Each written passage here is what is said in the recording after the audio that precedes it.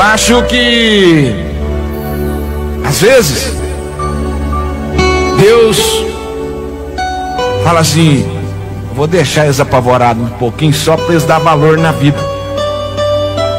Quantas e quantas pessoas preferem ficar no telefone, no WhatsApp, do que conversar com a avó, ou com o vô, ou com o pai, ou com a mãe. Acorda, Brasil, ainda há tempo.